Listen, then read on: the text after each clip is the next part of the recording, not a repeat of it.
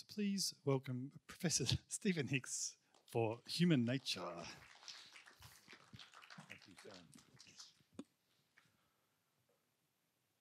right, one of the great questions uh, concerning us as humans is who are we?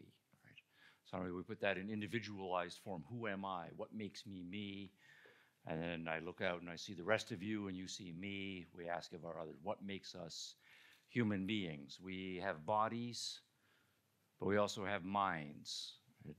Is our mind something different from the kind of consciousness or awareness that other animal species have? Is it a matter of difference of degree or difference in kind? So is the body and the mind, or the body and the soul? Do I have a spirit? When I die, does my spirit separate from my body and have an additional agenda? One kind of question. How much control do I have over who I am and what happens to me? Do I have control over my thoughts, my feelings, my actions? Or am I a product of forces beyond my control that really I have a genetic identity or biological nature that more or less automatically outs, and who I am is set by biological forces working themselves out? Or am I a product of forces beyond my control, perhaps divine forces that we are all pawns or puppets, and the gods are the puppet masters, and what happens to me is plotted out by the great playwrights in the supernatural dimension or am I perhaps molded and shaped entirely by social circumstances? And you can take the same infant and place it with very different families in different parts of the world, and that same individual infant would turn out entirely different. So, how much control over myself do I have? At birth, am I born neutral? That I don't have capacities that are going to be developed positively or negatively, but it's a matter of choices, experience, perhaps conditioning, whether I become a good person or a bad person. Or is it the case that at birth I am born preset with perhaps sin, an original sin that I didn't acquire by my own actions, but is part of my inheritance from my ancestors? So, all of these are questions of human nature, and they are, of course, perennial questions that philosophers and, of course, all thoughtful human beings engage with. Now, what I want to do is uh, start by plunging into a debate, one of the core debates over human nature, and engage kind of a pre modern and a modern debate on this issue. The kind of debate that has been going on for centuries and still continues but then position postmodernism as a third alternative to it. So, one of our themes of today is often in intellectual discourse and certainly in political and public discourse, we like binaries. You're either left or right, liberal or conservative or whatever. Uh, almost always, that's too superficial. There's always at least three fundamentally positions. So instead of single spectrum, I almost always find it's useful to start with a triangle. Right? There's this, that, and the third. So pre-modern, modern, and then we'll add the modern one. Now, where is my clicker? Ah, there we go. now, I've got the second question here, just to uh, as a little bit of a teaser. What is human nature? But that's already to prejudge the question in one way, which is to say there is such a thing as human nature. We need to figure out what that is.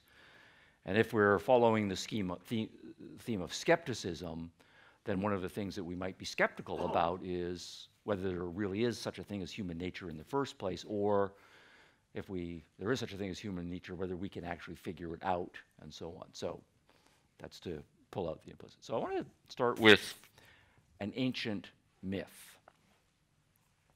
And if you have your uh, notepads out and your pens ready to go, I am going to put a couple of questions to you and ask you to write your answers down. So, Gyges. This is a story that we get from Plato most famously, but earlier from Herodotus. The story is that Gyges was a shepherd, a young shepherd boy, some village somewhere in Greece. and his job basically was to take all of the sheep of the village when spring came, take them up into the mountains, hang out with the sheep. The sheep would make, graze in the meadows, do sheep stuff all summer. So he's got this very boring, low social, doesn't make much money. He's a young guy, doesn't have much chance with girls. And of course, he smells like a sheep, so uh, it's an additional obstacle as well. But as the legend goes, this right, poor, isolated guy, he's poking around in some rocks or in some cave, and he comes across a, uh, a skeleton. Uh, some apparent person who has died, looks like it was a warrior a long time ago. And all it is is a skeleton at this point, but he notices that on the finger there is a ring. So he takes the ring off the skeleton. It's a nice gold ring, and it's got a, some sort of jewel stone on it. And he puts it on, and he's playing around with it, and then he discovers something. That is, that when he turns the ring so that the stone is facing inwards, he becomes invisible. And he takes the stone and he can turn it outwards, and he becomes visible again. All right, so that's the myth part, but it's a good story. So now Gyges has a ring that can make him invisible whenever he wants. What does Gyges do? That's the first question. What does Gyges do? Now, maybe you've never heard this story before, that's fine. 30 seconds. What does Gyges do? Write it down.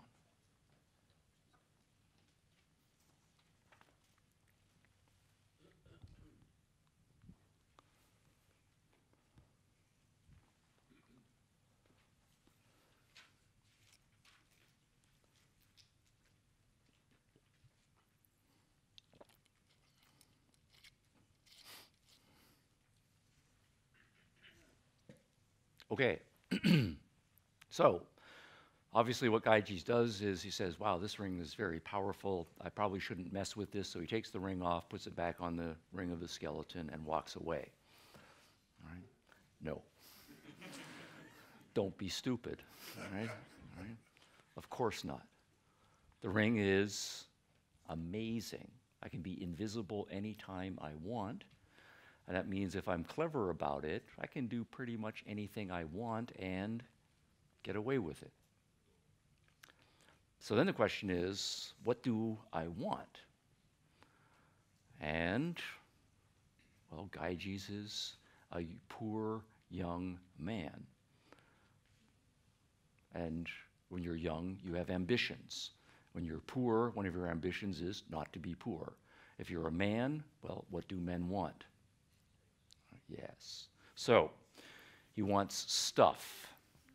So the first thing he does is right, forget the sheep, back to where the action is, and anything he wants, he can steal it. Has to be a little bit clever about it. Because he wants stuff. And what's the easiest way to get stuff? Of course, you can work for it, but that's a lot of work. This is the shortcut. So he steals anything he wants. Uh, yeah, he is a man. What do young men want? They want sex. Okay. So now he can have sex with any woman he wants. He says again, has to be careful about it. Wait until she's alone, alone wherever, in the house, father's away, brothers are away, have his way. So a series of rapes occur. And uh, he was a poor man, frustrated. And of course, when you're young, people pick on you, you make enemies, and you hate those people. And what do you want to do with uh, people who just irritate you? And, for a regular basis, you, you want to just smack them, right? Yeah. Or even worse, they really get under your skin and you've been resentful and carrying this grudge for you just like them to die. So basically, anybody he wants, he can kill them. And it feels good. Just kill your enemies take them out. So, certain number of people end up dead. So, stealing, raping, killing. And why is he doing this? Because he can, and because he wants to. And the ring is a metaphor for power. He has the power to do whatever he wants. Now, Gyges is just some guy, but he is a stand in for human nature. He's a human being, and human beings are what human beings are, and we all recognize this. We want stuff. We want to be rich. We want to have lots of sex, and we want to be able to do whatever we want to people we don't like. Now, as the legend has it from Herodotus and Plato, Gyges basically killed his way to the top, right? uh, killed the king, became the king, took the king's wife, and then he has additional to the power of the ring, the power of the state to make people do whatever he wants, all of the riches, all of the women, everything that he wants. And that's the best life possible for a human being. Right, notice the normative claim there now. So, what's the account of human nature that we get here? What is it to be a human being? Let's to say that human beings are most constituted by desires. We have built in desires, and we all have these desires. We are greedy by nature, we want stuff. We are lustful by nature, we want sex as often as we want it. And in social relations, we want to be able to take revenge on our enemies, and there's satisfaction in being able to do so and to have power over other people to make them do whatever we want. And so the ring then is power working in conjunction with human nature, we get certain results. Okay, now obviously this says uh, some huge implications because if we think then that is what human nature is about, what should society be about? Because if that's what human nature is, how are we all going to live with each other? If basically, whenever we think we can get away with it, we're just going to steal and rape and kill each other, we're not going to have society. So we immediately then have a moral and a social problem if we think this is a proper account of human nature. And the implication of this is that we're not going to have any sort of a liberal society, because what do liberal societies say? Give people lots of freedom to do whatever they want. Let's empower people. Well, Gyges, Gyges right, has lots of power and lots of freedom, and the results are a disaster. So if this is the correct account of human nature, then the moral and political implication needs to be is not that people need liberty and power, those are dangerous. We need to keep people disempowered. We keep a, need to keep a, an eye on people. After all, why was Gyges not out raping and killing and revenging before? Well, because he didn't have the power to do so. So we need to take power away from people. He was afraid that if he did any of the things that he really wanted to do, he would get caught. And so, what we then need to do is make sure that he's always watched, right? that we're all watching each other. Once you take the eyes of people off, which is what the ring does for him. People will. Now, we all, of course, know this, right? You're driving down the highway, no cops ahead. Are you going the speed limit? Oh, come on, don't be ridiculous, right? You go as fast as you want to go, and you want to go fast. When do you actually obey the law? Ooh.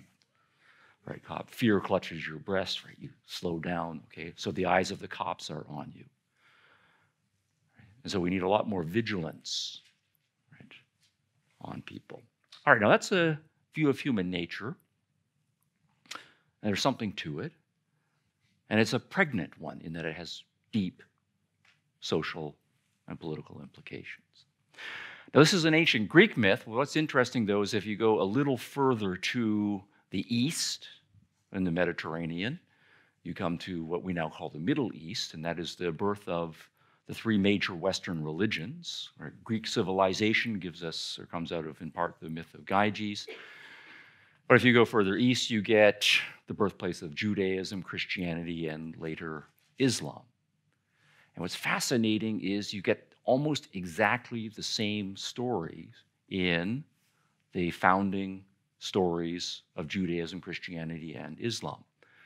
Now, what do I mean by that? Well, what's, what's the story that you get there? In the beginning, there was God and the Word, and God created the earth. He said, Let there be light, separating the heavens from the earth, creating all of the animals and the vegetation. And then his final creation, man, not a semi final creation, man. And then from the rib of the male, he makes the female. So you have Adam and Eve, and they're in the Garden of Eden, and everything is beautiful. It's God's creation. And then God says, Here's the garden, it's all yours. Do what you want. One exception. The exception is the tree, right, of the knowledge of good and evil. And that's interesting. The tree of knowledge, right? So something about knowledge here. And also knowledge of good and evil, moral knowledge, foundational. So human beings in a certain context. So God then leaves. He's not watching anymore. He goes away. What's the first thing human beings do? Steal. Right? Eve, tree, grab, bite. Adam, here you go. Bite. Okay. Right. So, what's the first thing Gyges did when he wasn't being watched and when he can get it? Stole. Eve. Theft. All right. Next generation. Cain and Abel, brotherly love, harmony. No. They're differentially favored. Cain feels slighted, he feels envious. In a fit of rage, he kills his brother Abel. Killing. And then we continue to read Hebrew scriptures or Old Testament, whatever you want to call it, and it's just stealing, killing, raping, lying, cheating, defrauding, terrible. Okay. I don't know, you read recently the story of Lot in Sodom and Gomorrah? What an awful story. That's right. So two angels come to visit Lot. Lot takes them in. Apparently, all of the men in the entire city come and congregate outside of Lot's house and say, Send those two young men out because we want to have sex with them all night. They're going to have some sort of gay sex orgy. Right? And Lot says, No, you can't do that. They are my guests. I will protect them. But I do have two daughters. What if I send them out instead and you have sex with them all night? And the men in this video say, No, that is not good enough. We want the men. Right? And so another angel apparently sends the signal, says, No, you guys need to get out of Sodom. This is going to get ugly. Right? So they escape, they go up into the, the hills and so forth, and then the daughters apparently are of age, but they're getting lonely. There are no men around anymore. There's just their dad. And so they get him drunk and have sex with him and so forth. Okay. Right. So it's pretty dark, right? Until we get to the generation of Noah, and then God comes back and he looks at what human beings have done and says, You guys are disgusting. right? I'm just going to wipe you all out, and we're going to, it's a do over, right? Didn't get it right the first time. So then we have basically genocide, right? God wipes out the entire human species and all those other animals except for Noah and his family. There's some redemption that is possible there. But you'll notice that's the same story as Gyges, right? Human nature is negative, dark, conflictual. These are pretty modern stories, but they resonate over the course of the centuries. So, is that story true? Do they teach us something about the essential human condition.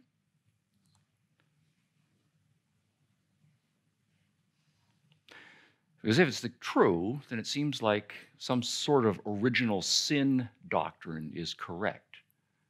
That we're born with human nature preset, but it's preset in a non rational instinct or strong passion, emotion direction. And when people have the capacity to do so, they will act on those passions, damn the social consequences. All right, so, well, of course, your answer to be yes, that story is true, or no, it's not true. But what would the alternative to that story be? Human beings by nature are passional creatures. What might an alternative be?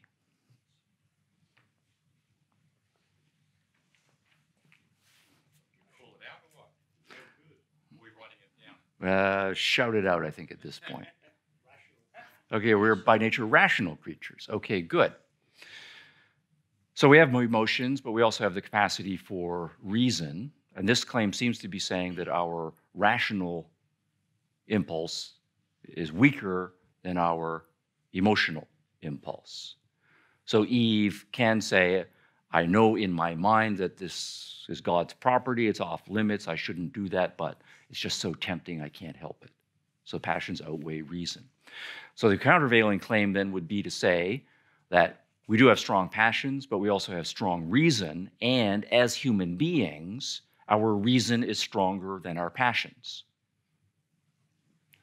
Or it should be, and it can be, right, with proper development. So, yes, I might be a man, I want sex, there's a beautiful woman over there. Passion inflames me and I just can't resist. I go and I rape her. Or I can say, actually, if I want to have a certain kind of relationship with her, just acting on that passion that way is not going to get me what I really want. what I really want is maybe something long term, something more principled, something that actually involves her consent, right? and I can recognize that about her, right? And I can channel or control my passions and so forth. And that's actually going to serve my interests better. Okay, a story I like to tell as I start to go on the other side is uh, involves a, a, dog I used to have. It was a great dog. It was part uh, Great Dane, part Mastiff. It was a huge animal. It sort of about this high, but uh, he had this big, huge Mastiff head and uh, a Great Dane body. But what it meant was that in my kitchen, uh, he was tall enough to see everything that was on the, the counter and all the food that was being prepared. And of course, as the part Mastiff, just you know, massive amounts of drool anytime food was involved and a voracious appetite. So he was a smart dog too, though. So the way this would go sometimes is uh, he learned, because he was smart enough, that if there was anything on the counter, off limits. And he respected that. If it fell on the floor, fair game. It was gone. But counters off limits. So I'm in the kitchen, I'm making a sandwich, there's all the smells, the dog's a little bit hungry and he's just basically stare down, right? What's going on on the counter? And I see him staring down and looking back at him, and I say, because of the Great Dane part of him, we called him uh, Hamlet, right? Uh, right they, uh, uh, so Hamlet, I would say Hamlet, no, mine, right? Now he doesn't understand English, but he gets it. He knows that sandwich is mine, and it's off limits. Now there's one pregnant uh, uh, moment that occurred that I always will remember. Making a sandwich Hamlet is watching the doorbell rings in another room. So I look at Hamlet, he's looking at me back at the sandwich, and I say, No, right in my, my stern voice. And he acknowledges that. Then I leave the room.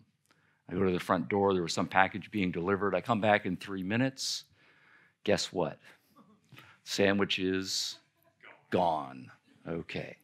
All right. Now, I said at that point, Hamlet, right? Bad dog, right? And he did kind of cringe a little bit, right? So he knew that he had done wrong right? in his dog intelligence way. Right? But is Hamlet a bad dog? Most of us would say, well, not really, right? No. But he knew that he wasn't supposed to be taking food off the counter. He knew that that sandwich was mine, but did he really know? And we say that you know he has some sort of self-control, but that self-control has limits because he's just an animal or he's just a dog in this place. And if you know part of the uh, his keeping himself under control depends on external agency. There's an authority figure, namely me, keeping an eye on him and monitoring him and reminding him that he's not supposed to, then he has that level of control. But if I leave the room, I take myself out of the position, I'm like God leaving the Garden of Eden, well, then, of course, what's going to happen? Animal nature is going to out, right? He has hunger needs, hunger drives, the smells. And once you remove the external authoritative, vigilant agency, that's just going to go out. So we don't blame him. He's not a bad dog. He's just doing what dogs do. Okay. Now, the contrast I like, I remember telling this story to my brother one time he was visiting. And he was actually kind of sitting on a stool close to where Hamlet typically perched over right, the counter. And so I remember telling him about Hamlet and the sandwich story and so forth. And so the, the variation on this, though, would be that my brother's name is Craig, and he also is a hungry guy. He's, you know, he can, he can eat like an animal too sometimes. He's kind of a hardworking Canadian construction guy. So I'm making a sandwich on the counter, right? And Craig is looking at my sandwich. And I'm looking at him saying, This is my sandwich, right? Okay, right? Okay. So doorbell rings.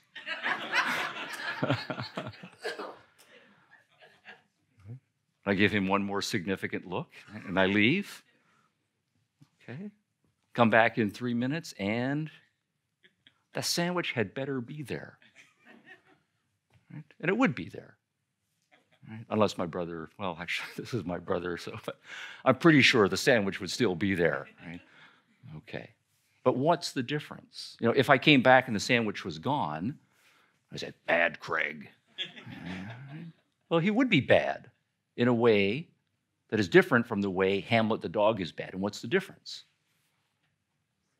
We expect more from a human being. A human being might have the same biological and psychological drives that a dog would have. That's right, an adult human being. So absolutely, these are going to be developmental, right? If, if it was a four-year-old child or a 10-year-old child, right, we would have different expectations. But by the time you are a fully developed human being, you will have all of those passions, but you also will be rational, and that rationality has power over your drives, and you should, as a matter of principle, recognize when you can unleash your drives and when you need to restrain or redirect your drives. So, human nature is, yes, to have passions, just like the Gyges story says, but the more important thing is that human beings have rationality. And rationality is powerful. We can use our rationality to shape our desires, to shape our actions, and that is the most important fact about human beings. So, what we have then is one of the big debates, which is to say, on the one hand, and this is a dominantly pre modern position, that human beings are not fundamentally rational, they're fundamentally passional. Reason is a weaker capacity, it exists, but human beings are primarily driven by their passions. And then a more modern position that says human beings have passions, but those passions are to a large extent malleable and shapeable by our thoughts and our beliefs, and reason is efficacious and powerful and able to grasp principles and regulate our thoughts and beliefs in terms of those abstract principles that we can create. So we're long term moral agents, not short term passion driven agents. Okay, so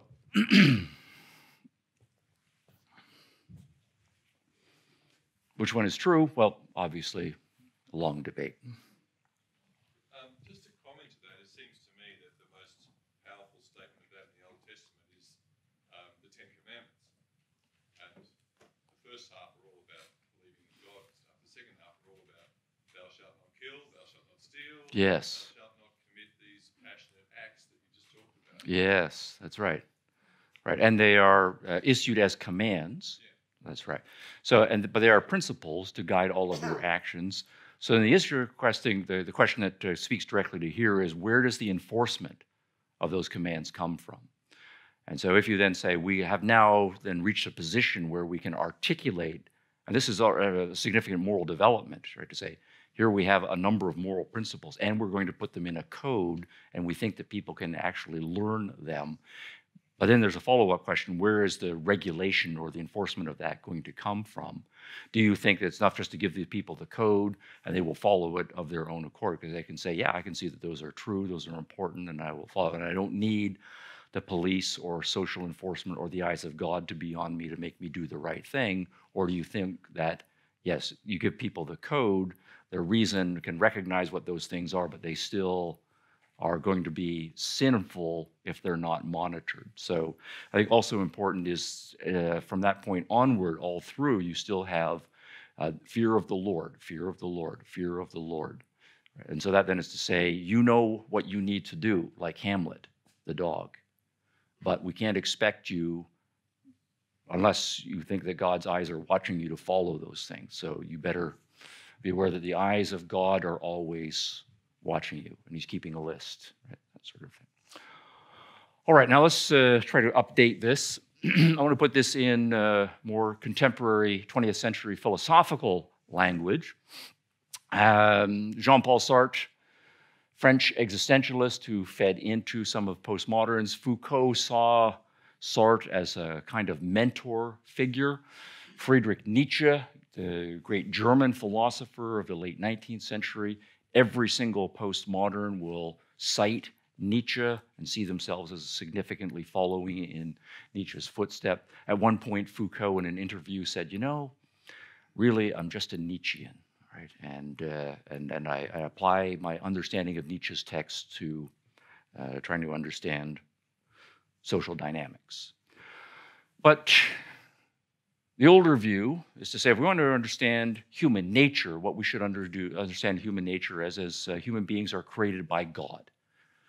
So we take some sort of divine creation understanding, and the modern language that we would use, or the philosophical language, would be that's actually not modern, sorry about that. It's uh, some technical language that's been in philosophy for a long time, is to say, you want to understand what a human being is, you have to understand that their essence precedes their existence.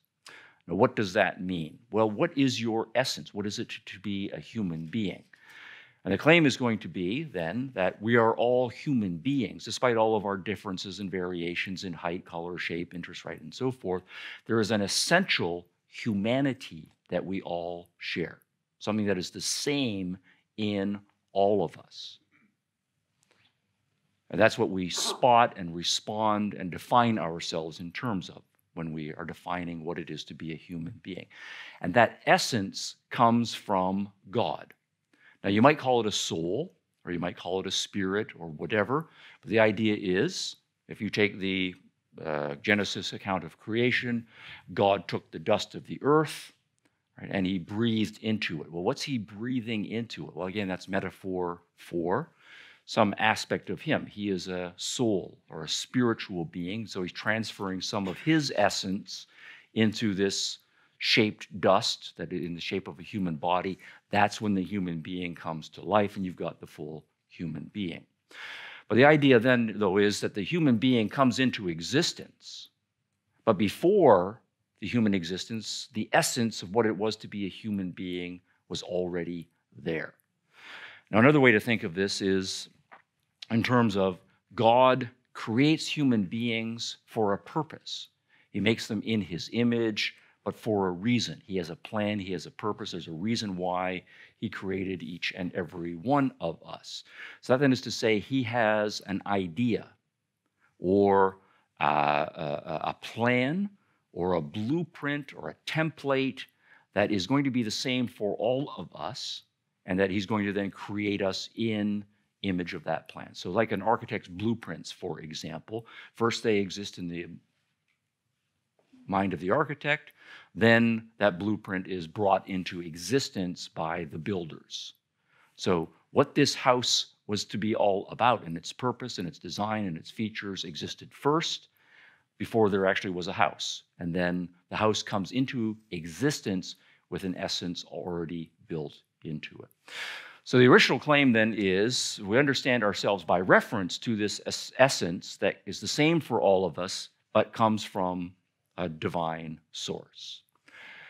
Now, the claim then is as we get into the modern world, Friedrich Nietzsche, we become more rational, we become more scientific, we start to believe, as many intellectuals do, that there's not really good arguments for the existence of God, and so religious belief systems start to decline. We're much more scientific and rational, and at a certain point, as Nietzsche puts it, God is dead. Now, what he means by that is to say that we used to be religious, but really we don't believe in that stuff anymore. Right? Even people who think of themselves as pretty religious are not that religious by old standards. So God and our belief in God is dead. So why are we here? If it's not the case that we exist, but there is a reason why we exist, that we have a calling or we have a purpose or there's an ultimate meaning of life that has already been set by a godlike creature and that we're all here to fulfill God's plan in the world, then the implication is going to be on the next generation, and this is the existentialist position. and why they call it existentialism is that we're just here. We just come into existence through random chance processes, but not for any particular purpose. There is no reason why you are here. There is no purpose. You have no essence. Instead, you just exist as a bundle of potentialities, who you become, what your values are, and even collectively what our purposes are. Those things come later. We then exist, and it's then going to be up to us as we grapple with and try various things in existence what our purposes are, what our values are, what our meanings are. So, in effect, we become the gods of our own life, and we have to create our essence by means of the commitments and habits that we develop. All right, so that then is to say there is no human nature.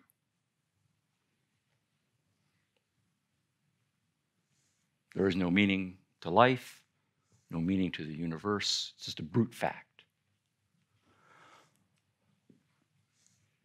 So then, what we have is a claim that's different from either the claim that we come into existence and we're formed by certain desires that are inbuilt to us and they're all the same, versus saying we also have a capacity for rationality and we all have this capacity for rationality and that we should use it to identify certain principles that are true about human social relationships and govern our actions as individuals in terms of moral responsibility in those directions to say no there is no such thing. We're just here, and plasticine can become anything. There are no set purposes, including rational purposes and so forth. Anything goes. So, I've got a quotation here from a perceptive postmodern critic. in some harsh language here, in the postmodernist perspective, modern subjectivity in all its concrete forms and manifestations as person. And again, there's a whole bunch of things there, but just go to the end. Practically at the end of its tether, if not already defunct. So, this question about what a human being is, we're going to say all of the previous answers are done. done. So, we can't talk about persons. So, it's not like you're born with a personality. Individuals, you're not really even an individual. You're some sort of just undifferentiated potentiality. You don't have any individual essence yet. Self. There is no self. Emotions, ideas. Again, it's indeterminate. Res cogitans, the Latin, thinking, being. If we try to identify thinking as uh, an essential human capacity that we all share, no as moral agent, that we all have a capacity inbuilt as part of our human being to regulate our own thoughts, behaviors, actions, and so forth? No. As aesthetic subject, being able to appreciate aesthetic qualities, as author, or something with agency, I can create. As bearer of human rights. So the modern world has all been about all human beings have, by nature, certain inalienable rights life, liberty, pursuit of happiness, or whatever your list right might be. Or if you are religious, that all human beings have inherent moral worth as creatures of God. No. All of that is theoretically and practically at the end of its tether, if not already defunct.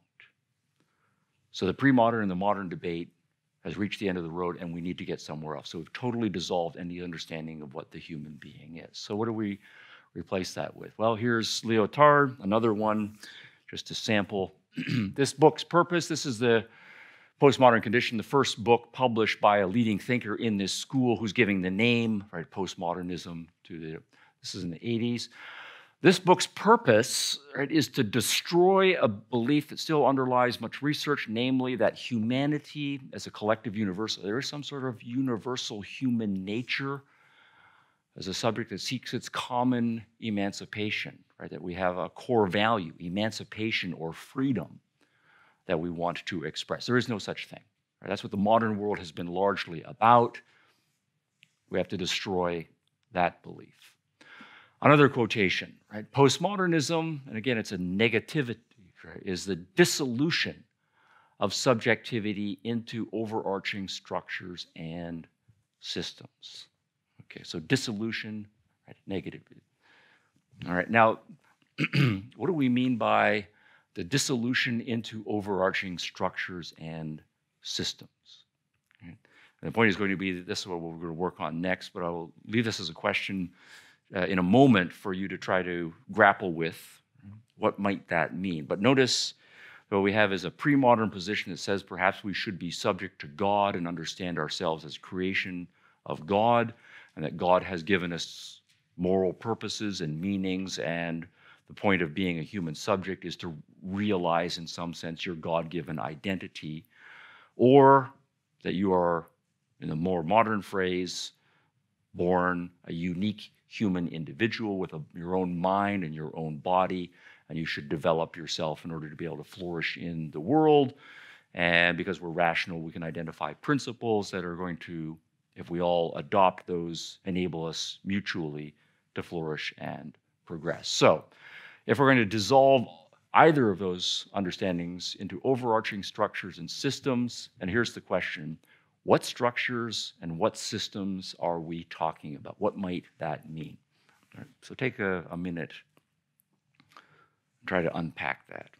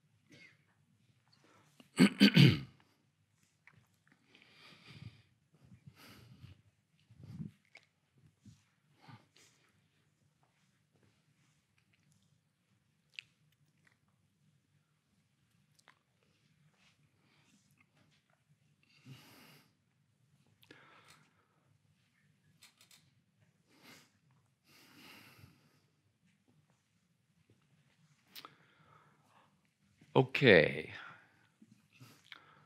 I'm going to argue next is that this is code for an attack on any sort of individualism, right, whatsoever.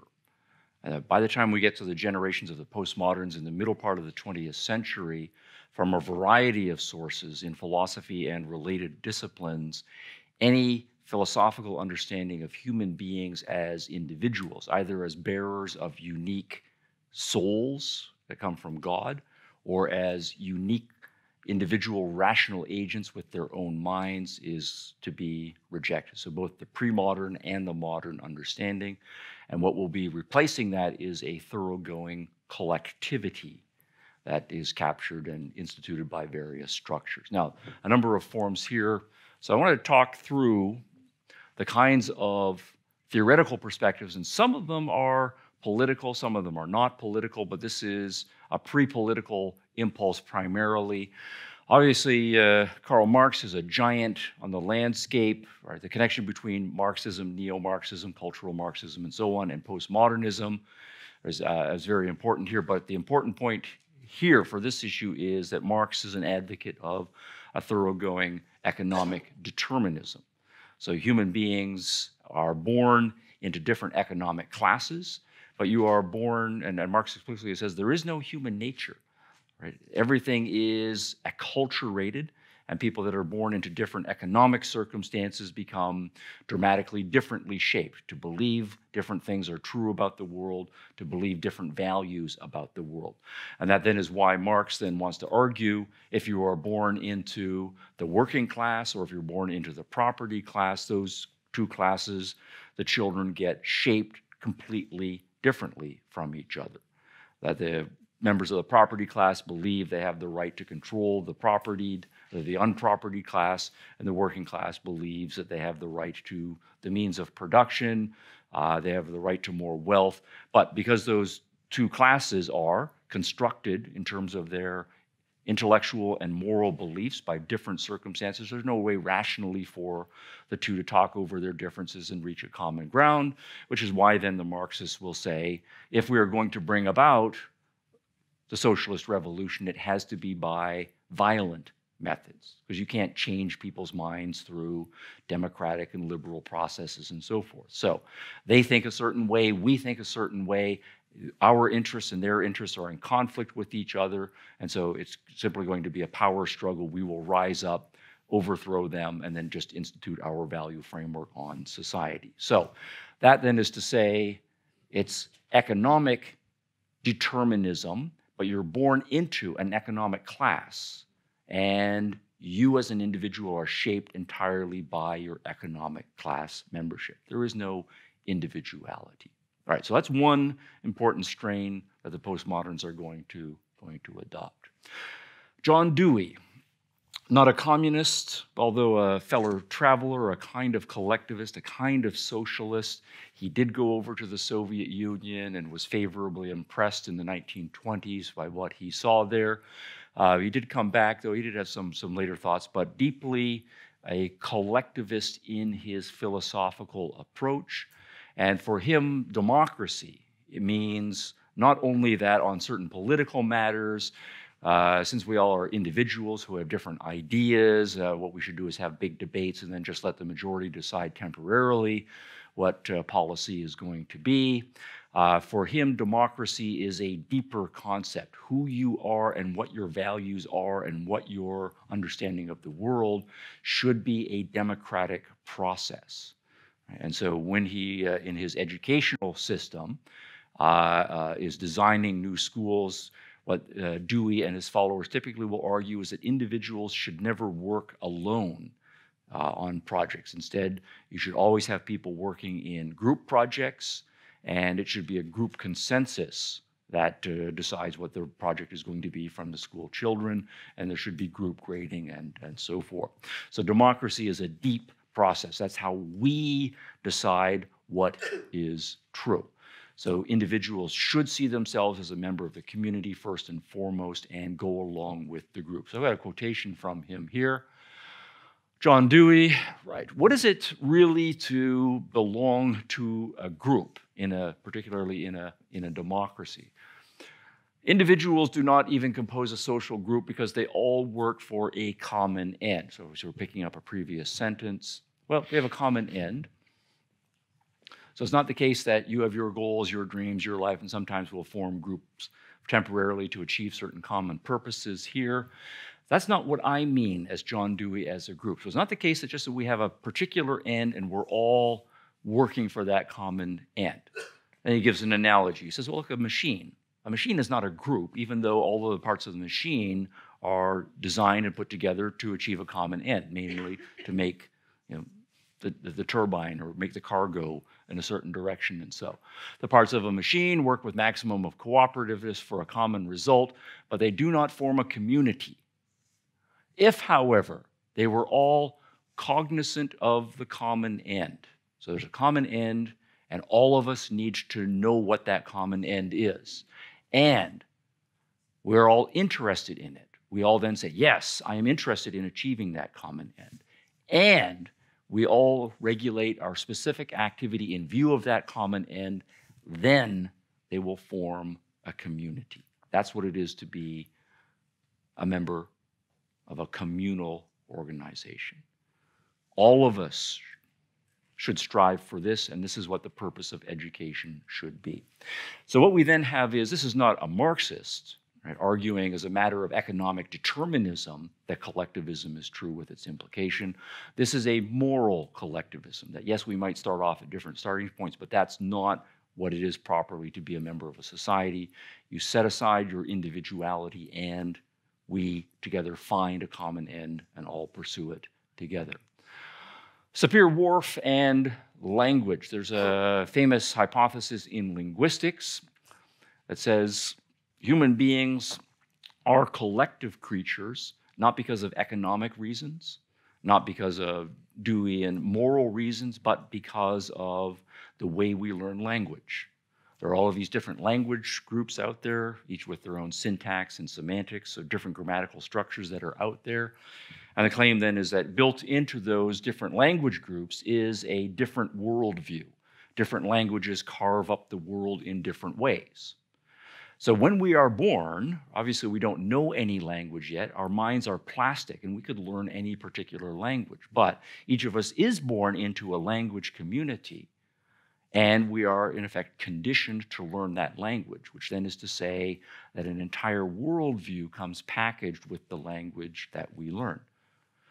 And so we are, in our very thinking, conditioned to be part of a collective. Individual thinking is merely a matter of playing around at the margins within an already collectivized linguistic structure. And then, of course, what the postmoderns will add to this is to say the different languages carve up the world in different ways, and so people really ultimately can't communicate with each other on the deep and important matters. So uh, uh, translation becomes very fraught. You can kind of sort of do translations, but not really. And so people are divided into different collectivities with tensions that are going to be inescapable because you can't think your way out of the linguistic framework that you are born into. Developed in the early mid part of the 20th century, also informative on postmoderns, particularly the deconstructionists who are uh, then saying, well, language and poetry and so forth, they're all about language. That we take this thesis and it's going to have some, some serious implications. Solomon Asch, a social psychologist, very interesting set of psychological experiments arguing that as a matter of fact, individuality is a very weak trait in human beings. So we want to say, as uh, uh, perhaps as religious people, you have a soul and you have a conscience and you know what God wants you to do, and so you should screw up your personal integrity and resist temptations and do the right thing and that's part of moral agency.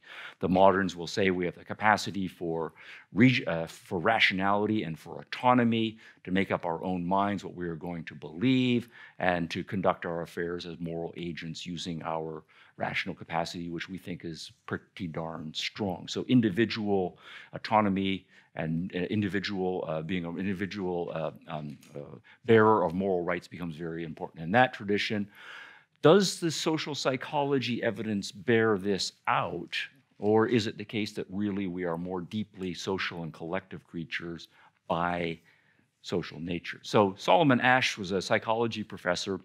Um, he did some fascinating experiments on college students, uh, university students in America. And this is interesting because in the United States, course, it's a culture that uh, has a reputation for being very individualistic and so on. So the, the results that we get from American university students is, uh, is especially striking. So what he would do is he would say to his introductory psychology classes is, uh, I'm doing some uh, psychological research and uh, you know, I'll pay you a couple of bucks if you will, you know, show up in our lab and we're going to do some some experiments on on psychology, and you won't get hurt. Don't worry about that. So just show up. So lots of, course, poor college students will show up.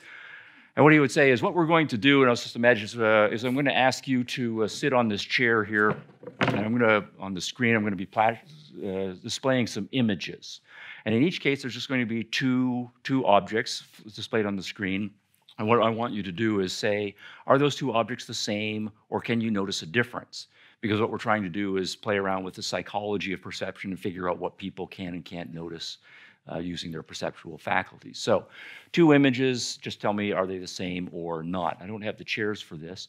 He says, but just to speed the process up, we're going to do uh, students in batches of three. So there would be two other chairs here, one on either side. You would put the test subject in the middle, and you would give those people the same instructions. Now, in fact, these two people sitting in these chairs are working with Professor Asch.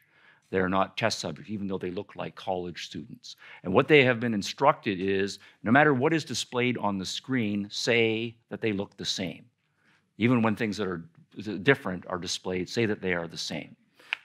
So you start, you know, you have two lines and you put the two lines up on the screen and they're the same length and, you know, I can see, I look at, oh yeah, they're the same. And then these people on either side of me say they are the same, and I say they're the same.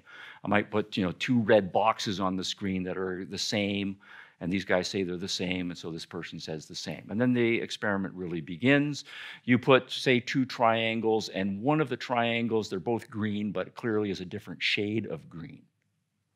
And then these two say, those are identical. What does this person say? They're the same. Yeah.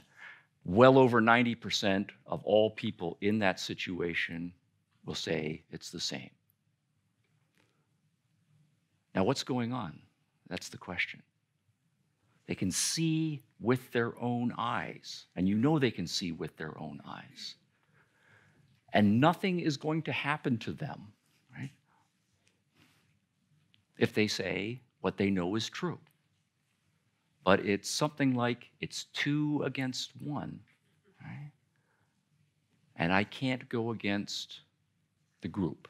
I can't go against the majority. And it's, right? I'm overwhelmingly then, the conclusion going to be, a product of the group, and my primary impulse is to fit in with the group, even if that involves overriding and suppressing my independent judgment of the facts.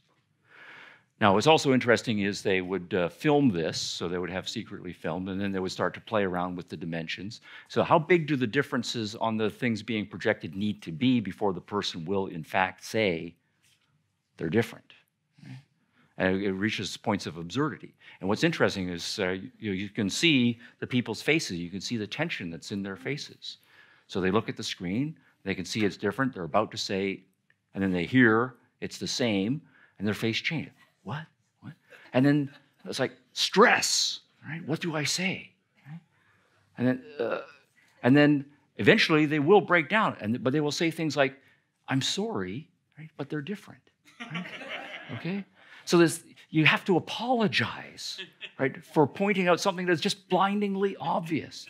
And these are American kids who have been for generations, right, taught be your own person, do your own dream, sometimes stick it to the man, right, and so on. Okay. Even they. So the claim then is that we are by nature, and this is a psychology issue, obviously, conformists. We want to be part of the collective, and that shapes right, our, our thinking. So fascinating right, studies. And I'll skip over this next one, Skinner, right, and behaviorism, because we uh, came up earlier in response to an earlier question. The dominance of behaviorism, particularly in the, um, uh, the, the, American and Anglo-American speaking psychological world by the time we get to the middle part of the 20th century. So the point is going to be, if we run through all of this, the high profile of Marxism in the 20th century, the prominence of Dewey's pragmatism, again, in the first half of the 20th century. The Sapir-Whorf linguistic hypothesis, prominent in the middle, by the middle part of the 20th century. The Asch and conformity experiments and behaviors. Now, none of these are necessarily in agreement with each other, but they do share one common theme. There is no individuality. And so, if you are then a well educated person, keeping up on all of the trends going on in 20th century intellectual life, this is what you come to believe. So, individualism, moral agency, self responsibility, universal rights, all of that seems passe. We need to be post modern. All right. now, I want to, uh, interestingly, make a slightly sideways connection. This is a connection for activism and for policy. So, if you are a modern individualist, then what you say is that your activism should amount to gathering data, gathering facts, good charts, making arguments, listening to counter arguments, speak to people as individuals, respect that they have to go through a process themselves, that's how you will engage in your activism. But if you think that this portrayal of human nature that we have is fundamental, that human beings are deeply collective, then you're going to need very different activist tools, and your rhetoric is going to become entirely different. Now, a striking thing is that most of the postmoderns are coming out of the left, particularly in the first two generations or so. I don't want to steal too much thunder from later, but all of the leading postmodernists are deeply inspired by Marxist political philosophy. Um, but it's not only the far left that is attacking individualism.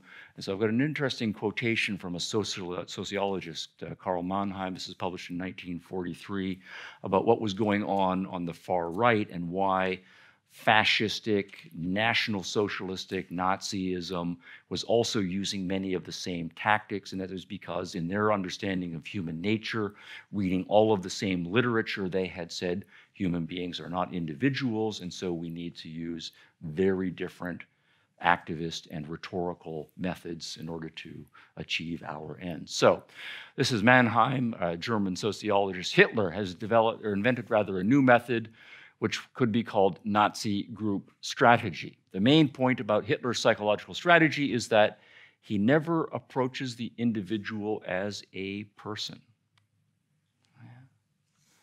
but always as a member of a social group.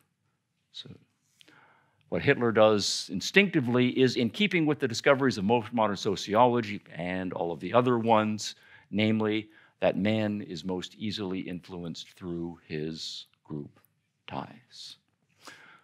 Okay. So, the postmoderns, with their collectivity, with their organizing people into groups, with the dissolution of the individual, with a complete rejection of individual moral agency, with the consequent rejection of the idea that uh, we need to treat the individuals uh, as having minds of their own and tolerate differences of opinion. All of that then is flowing out of the high academic literature and given an activist formation.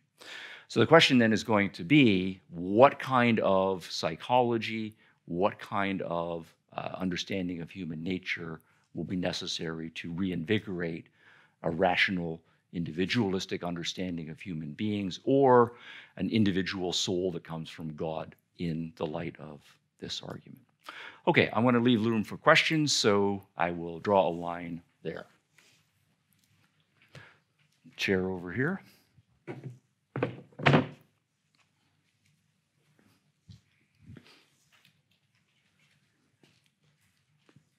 Thank you. Hello.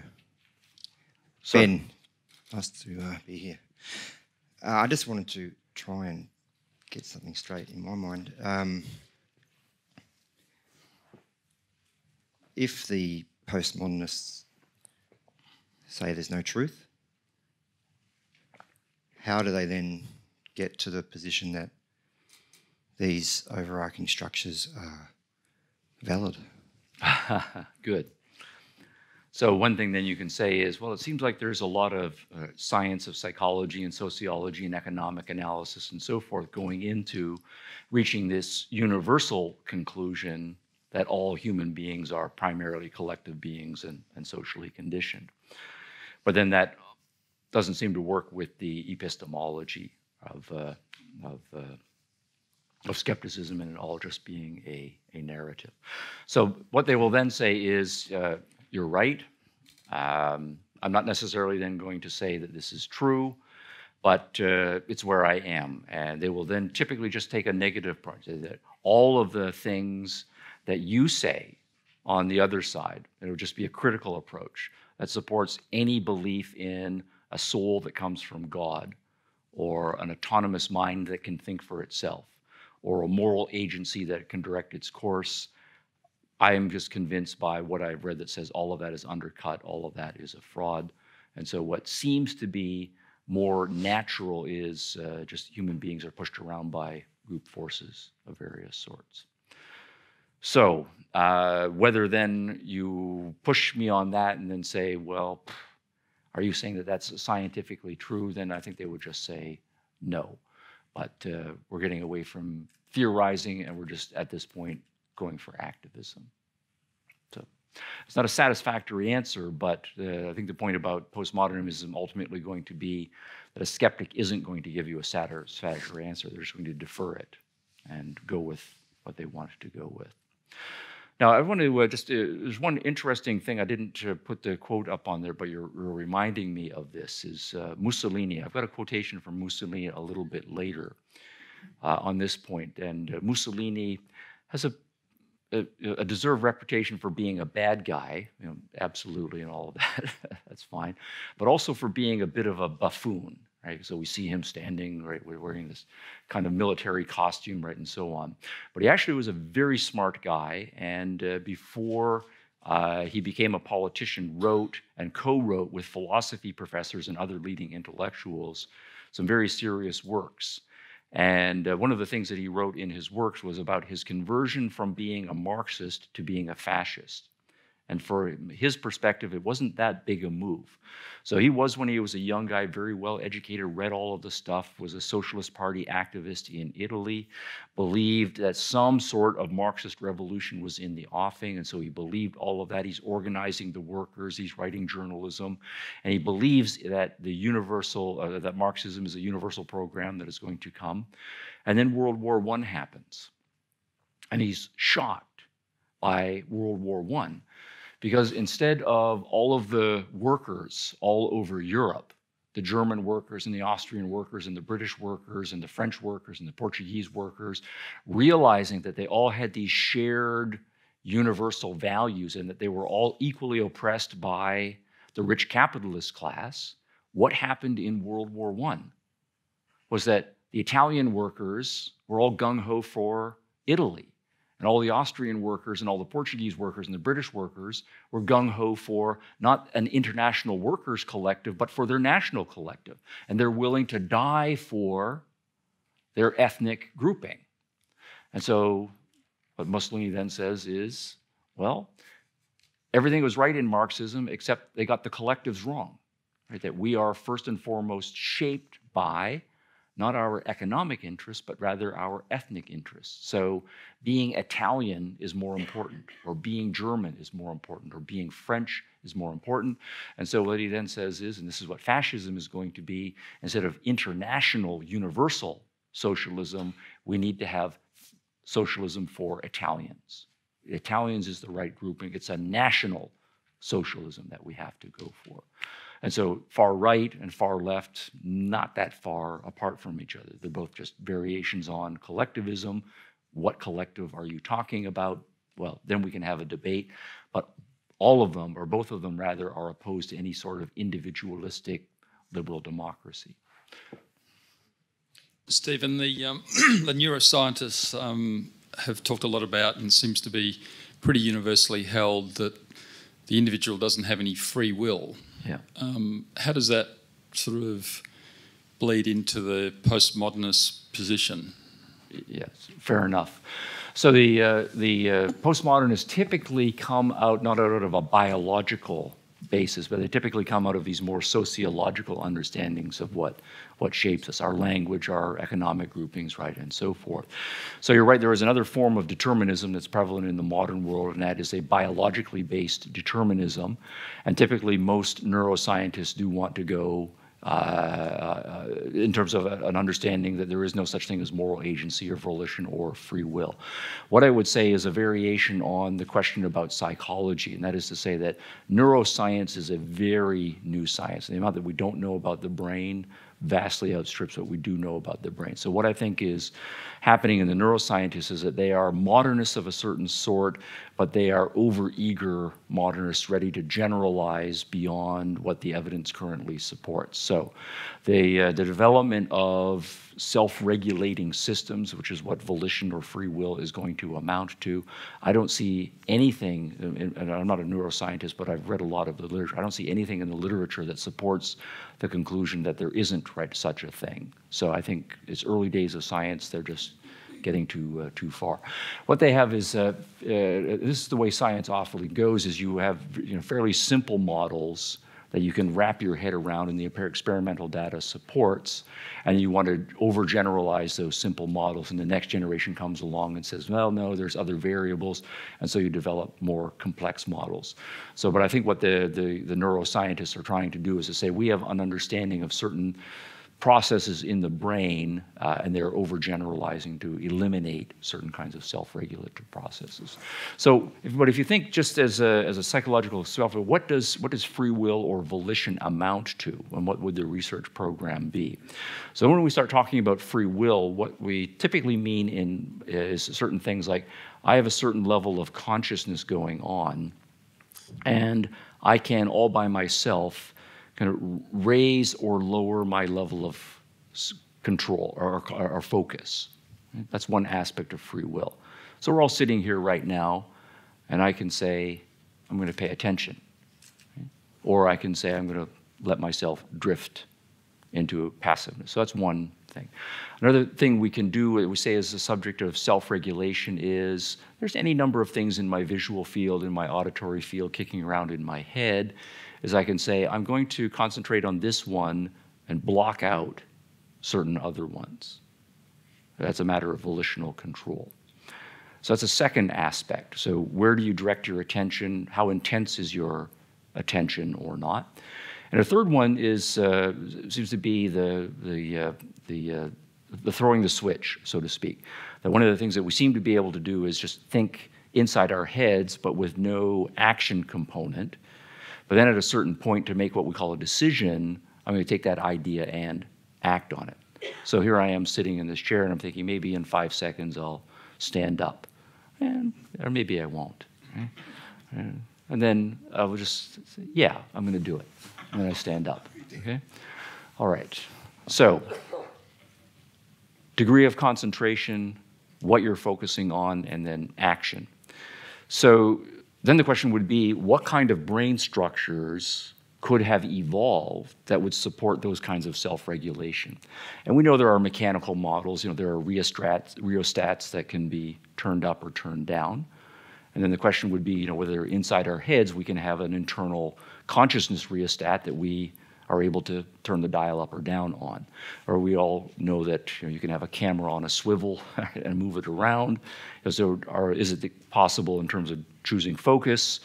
Uh, you know, that we have an internal control module that enables us to swivel where our consciousness goes. From cars, we know that there are uh, standard transmissions, so you can have the, the clutch depressed and you can be just revving the engine right, and steering the steering wheel, but nothing is happening. But you can also engage the clutch and then the action, the car starts to move. So is there uh, a physical, neuroscientific possible model that's in effect a, a brain clutch that we are in control of? Now, I'm not a brain scientist, I'm a philosopher who thinks about volition, right, sometimes, but from my understanding, there's no good basis for saying none of those self-control modules that we just talked about are physically impossible. They're all causal mechanisms and so on. So I would say just uh, be a little more modest neuroscientist and don't, don't get there too, too quickly, something like that. I think there was also a hand back here, but yeah, go ahead. No, no, no, you, you haven't asked a question yet, so go, please go ahead.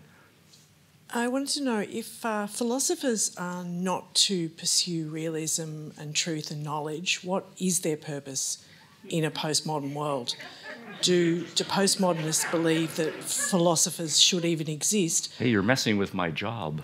well, you, you, you, talked about, uh, was it uh, Lintuccia saying, you know, talking about exercising power for the purpose of social change. Mm. Is, is that the job of a philosopher now, to teach others how to do that? Yeah, good question. So,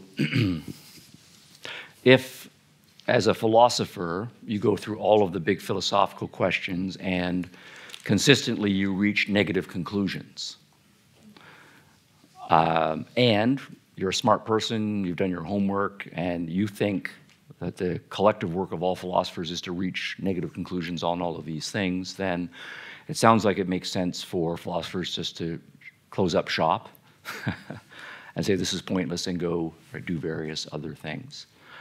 Now, there is a tradition in uh, the history of philosophers for many philosophers to do just that. So, in ancient philosophy, uh, there were skeptics and one of the, the, the, the charmingly consistent philosophers was a guy named Cratylus, who uh, reached some skeptical conclusions where he said, you know, I ultimately think that all of these words and theories that I'm coming up with are ultimately meaningless and that language doesn't really serve any sort of a communicative function. So he decided, actually, as a matter of principle, to shut up for the rest of his life. He just didn't shop, didn't talk anymore. That's right. So that's the Cratylus option. Yeah. And you might then say, well, yes, actually, please, postmodernists, do shut up, right? Uh, uh, be consistent, right? If you really believe that words and concepts are meaningless, then don't try to use them. So it seems like they are trying to use the words and then at the same time disavow that the words have some meaning.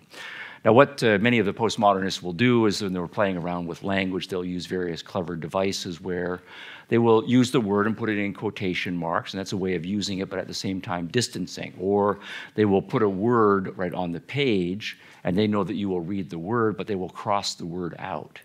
Again, you know, use it but not use it at the same time. And that's something that comes out of Wittgenstein, but uh, Derrida would use that right, a lot. Now, David Hume was uh, one of the great skeptics in, uh, in modern philosophy. Uh, he uh, came out of a certain tradition following Locke that led to Berkeley and Hume, so he's typically seen as a third generation empirical philosopher.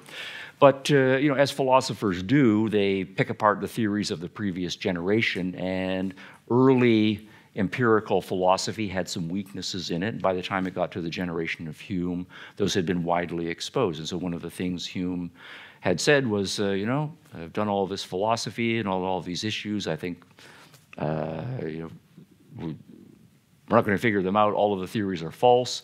And so basically, his answer was to say, well, look, philosophy really is just kind of useless.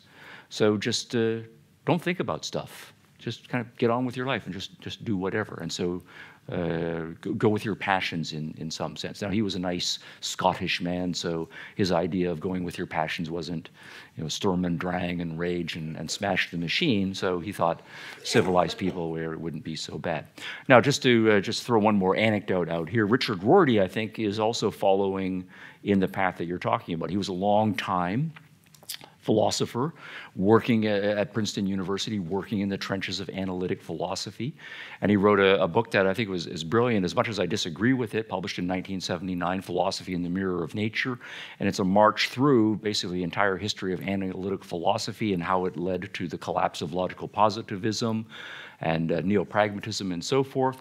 Um, and so he says, yeah, the entire modern philosophy project has been a failure. And he did then say, as the quotation, uh, uh, quotation I quoted earlier said, said, okay, no point to being a philosopher anymore. So he left the philosophy department at Princeton and moved to a comparative literature program at the University of Virginia and said, you know, we're going to work with the poets. And so he is saying, in effect, everything that we do is just literature. And the distinction between fiction and nonfiction doesn't make any sense. And so we tell stories, we do narratives, and I'm just interested in rhetoric. But rhetoric without the idea that my language is communicatory or that I'm trying to get you to believe certain facts about the world. So, yes, absolutely, that's the question that needs to be thought about. Thanks. Um, it's Liz, and I've got a couple of short comments that I'm uh, invite, not so much questions, but inviting your response on. Um, it seems that there's a lot of, and uh, my comments might be come from a more political angle, but it seems like there's a lot of trickery going on. Now, of course, I, that would invite a fairly biased accusation, uh, accusation bias, but um, it, it, does. Like one of the things you said. Um, when you were uh, speaking, Stephen, about um, that there is some uh, objectivity reserved when they go through some special level of objectivity when they go through some long process and that. And I thought, well, isn't that something like one example could be like, well, even under the, if I may say so, guise um, of academia, you know, the peer review process, that could be easily manipulated and can be easily ma- manipulated and um, or coerced. Um, and if so, or with that, wouldn't that indicate actually a meta, I'll call it a meta conformity. It's kind of, kind of like, can we search for use the group power, the people running, sort of driving the group think, um, using them or allowing them to sort of come to a desired conclusion. Hmm. And, and like So what I'm trying in- to say even is, in the sciences. yeah, the, be sure. isn't it that that deep and the trickery, what I'll just call in plain words trickery. Right. Yeah. So if I'm taking your question right correctly, the, one of the great claims then for objectivists, your small o objectivists, are mm. those who believe that reason is efficacious and that with doing the hard work, even on complex matters, we can have at the least highly probable hypotheses or even achieve certainty that all of the elements of the scientific method can be gamed by those who are engaging in trickery. And so the peer review process is, is going to be an example of that.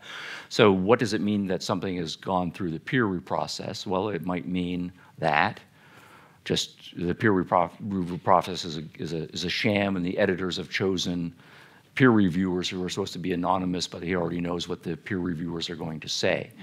And so it's a rubber stamping, but you're just going through the process, right? Or much of what happens uh, in, uh, in peer review is what we call the, the reviewer two process.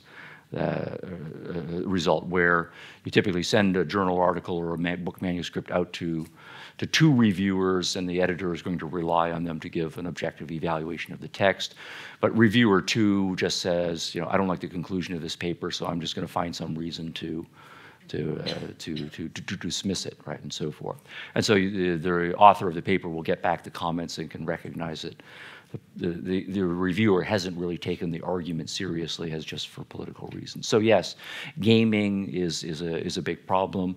So then the question is going to be, can the advocates of the objectivity find ways to reform that process, right, and so forth. So that's the ongoing, the ongoing problem.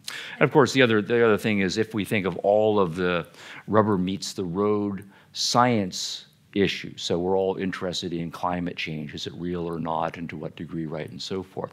Well, how much of that is a pure scientific process, and how much of it is driven by politics, right, or uh, transgender issues. Uh, how much of that is driven by actual biology and informed psychology, and how much of it is a matter of uh, perhaps wishful thinking psychology and so on. So, yes, great challenges there. Yeah, Stephen, um, Michael here. Um, look, I just wanted to reflect this. So um, you started off talking about, in a way, in my words, our sort of animal nature, our passionate, you know, tendency towards um, perhaps selfishness and to commit um, kind of uh, sins, if you like. Um, you know, stealing, uh, murder, revenge, all that sort of stuff. So, and I think reflecting on our own sense of self, there, there's a truth in that. You know, we, we are, you know, sometimes selfish, sometimes greedy, etc. And then you talked about collectivism um, and the influence of groups and peer pressure and that sort of thing. And I think we all can accept that there's a truth in that too. So what I'm thinking of the individualism, you know, that came out of the Enlightenment was was kind of like a project, you know, and, and the novel, uh, I suppose, was the great, you know, new literary form that gave expression to it. There's this, this notion of the individual is not something that, you know, springs into being at birth, but something that is a project for each of us to kind of overcome, you know, our animal nature and, and the influences of family and all that sort Right, of stuff. right. And that postmodernism seems to be like a giving up on that project. Yeah, nicely said, yes. Okay. Yeah, so what he said.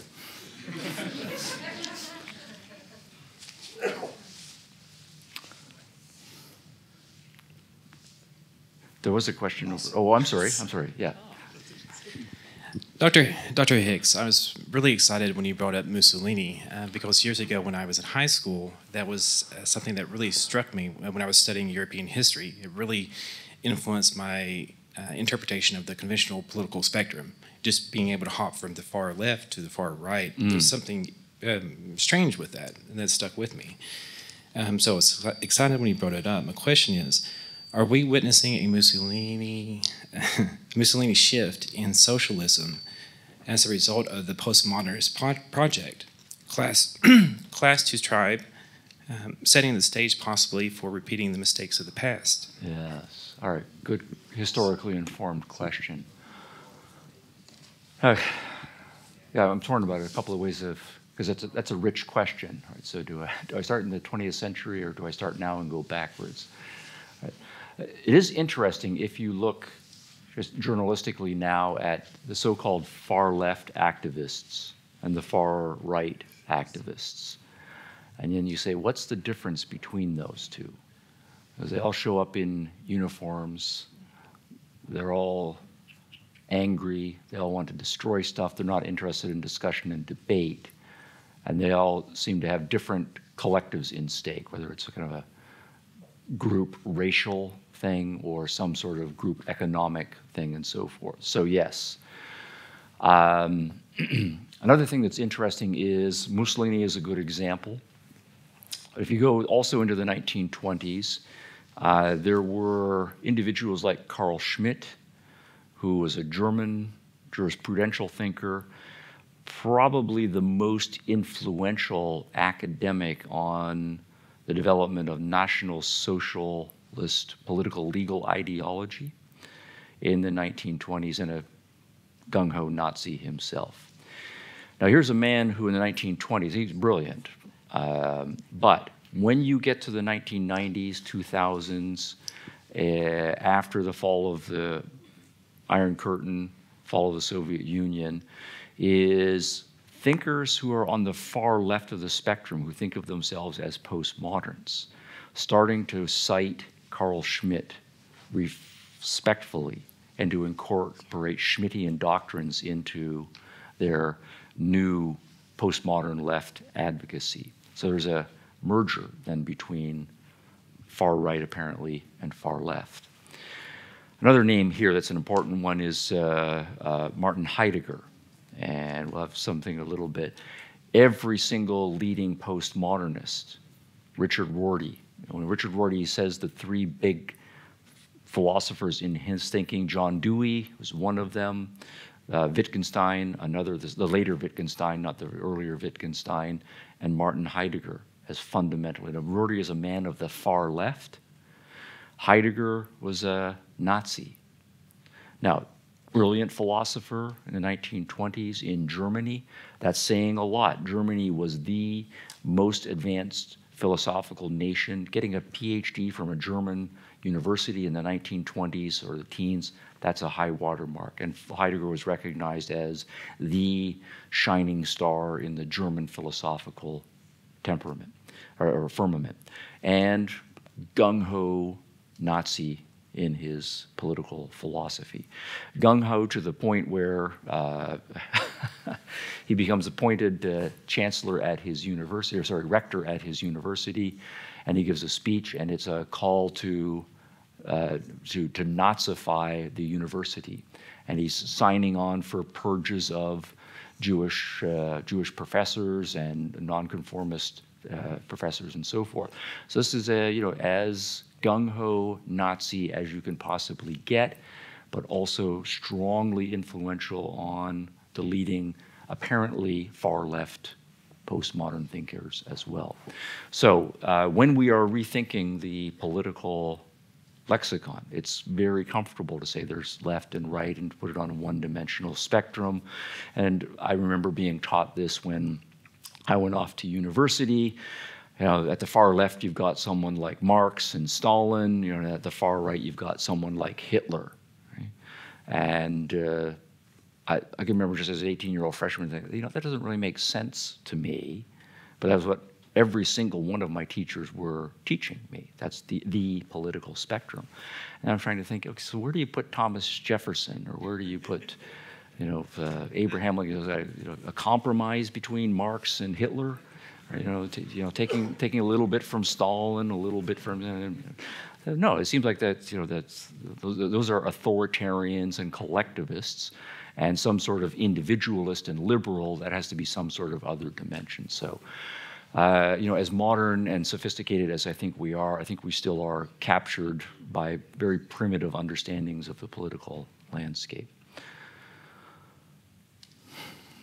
Last one. One more? Thanks. Okay. Hello. Um, yes, thank you. Um, you. Press Hicks, you mentioned a couple of times, you referred to the biblical text as uh, pre modern. Yeah. And, I, and I get that. You know, they're pre modern, they're not Enlightenment, they're not Renaissance, particularly.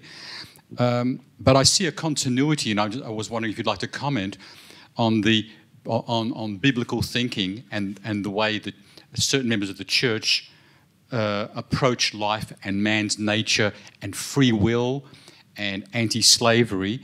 I see a continuity, uh, uh, uh, you know, uh, with biblical literature and approaching the modern era. So, for instance, I think in the first, by, by 400 AD, once the Christi- Christianity had spread through the Roman Empire, I'm not a Christian, by the way, but I've just been studying this stuff, uh, slavery was just about completely eliminated. Now, it came back later, not because of Christianity, but because of other factors like the, um, the jihad that started after uh, Islam began. But that's what I'm, I'm, I'm very interested in, in, understanding that, that, that is, is the, are, are the biblical text stories and church uh, history, is that pre-modern in the sense of preparing us for the modern, mm. or just before, and, and with a continuity? Whereas yeah. postmodernism seems to be discontinuous with the biblical modern uh, uh, uh timeline. Yeah. Postmodernism seems to be in a different direction of a different nature and character. Yeah. I find that odd. Yeah. Okay. Well, that's a that's a great question and kind of a full day seminar, right, uh, right all in itself. Because what you're what you're asking is uh, right, interpretation of church and biblical history, and as we know, we can go on for a long. So, right, my my view is that uh, um, as we know, in the Bible, you can find support for a lot of different positions. And so the question then is going to be what your interpretation says is the dominant set of traditions. And uh, I'm not going to prejudge anyone who says, I think this passage in Scripture is the most important one, and all of the other conflicting passages need to be de-emphasized because of this one compared to someone who wants to say no this is the right passage and this one has to has to give uh, has to give way.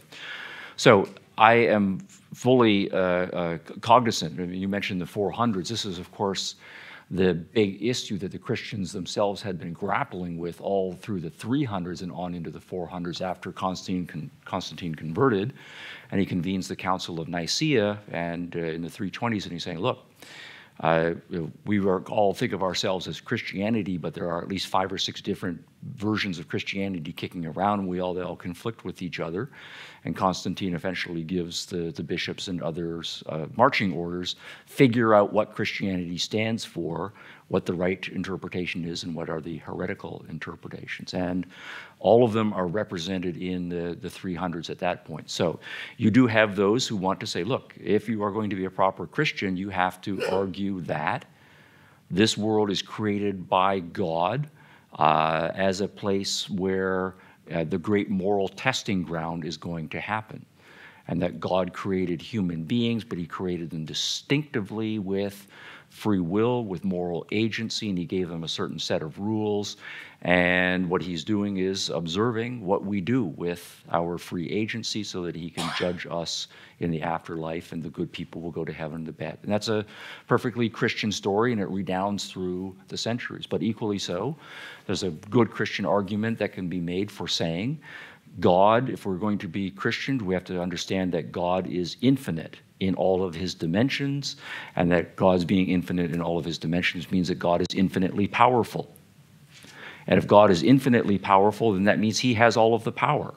And that means that human beings don't have any power because free will is a kind of power, it's a kind of agency. I have a certain amount of power to change the future, you have power to change your future, and so forth.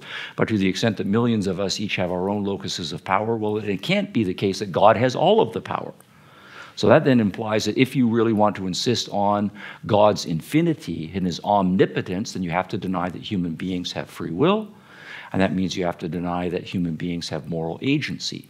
And there is an orthodox position that can go down that line. So, uh, short answer to your question is all of the issues that we have started to put on the table, and some of the ones that you mentioned yourself, absolutely right. Those are those are in the corridor, and some of them are going to be continuous with modernism. Some of them, though, will be ones that did become orthodox in the Christian tradition that the moderns had to break with and rebel against. So it's going to be a split decision.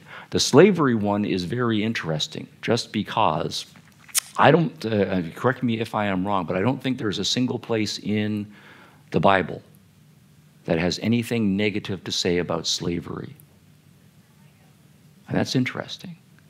There are lots of positive things to say that slaves should obey their masters. And there are some responsibilities that masters have and limits to what masters can do to their slaves, but there's nothing on principle against slavery. But you're right, when Christian orthodoxy swept the Roman world, one of the reforms that they introduced was an attack on slavery. Well, well, yeah, that's right. Yeah, no, there is an answer to that. So, the, yeah, so the question is whether it's it's scriptural or whether there are some things that are in the spirit of Scripture and are going to then be interpreted by Christians and and, and applied, right, and so on.